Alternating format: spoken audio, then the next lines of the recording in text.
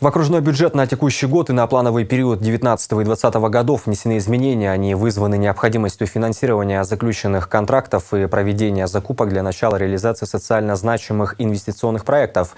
Кроме того, необходимо перераспределить сэкономленные бюджетные средства на другие направления расходов. Об этом на внеочередном заседании администрации округа сообщила заместитель губернатора Татьяна Логвиненко. Подробности далее. Общая сумма расходов на текущий год и плановый период не меняется. В основном все изменения связаны с Департаментом строительства, ЖКХ, энергетики и транспорта. Увеличение бюджетных ассигнований произведено в 2018 году на сумму чуть более 800 миллионов рублей, порядка 203,5 миллионов в 2019 году и 654,5 миллиона в 2020.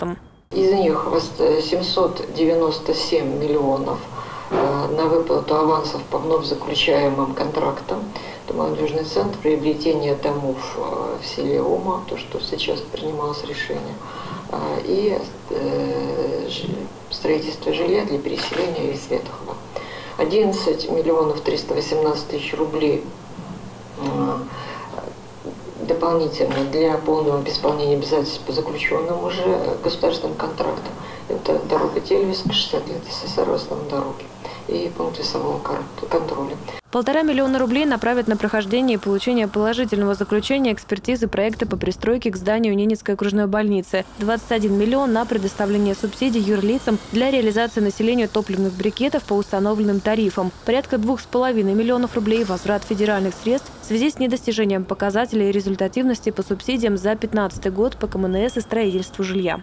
3 миллиона 87,9 тысяч рублей э, финансирование транспортного обслуживания, новый маршрут искателя аэропорту. Здесь выделяется, просто меняется, э, так сказать, вид, вид расходов.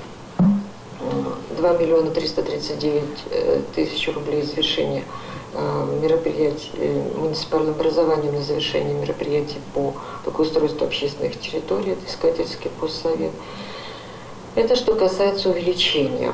Уменьшение бюджетных ассигнований на эту же сумму в 2018 году обусловлено экономией по результатам проведенных торгов, несостоявшимися торгами, планируемым уменьшением фактического объема потребления электроэнергии. Напомню, корректировка планового периода 2019 и 2020 годов связана с необходимостью перераспределения бюджетных ассигнований между текущим финансовым годом и плановым периодом, а также балансировкой окружного бюджета. Ирина Нежалова, Дмитрий Лукевич, телеканал «Север».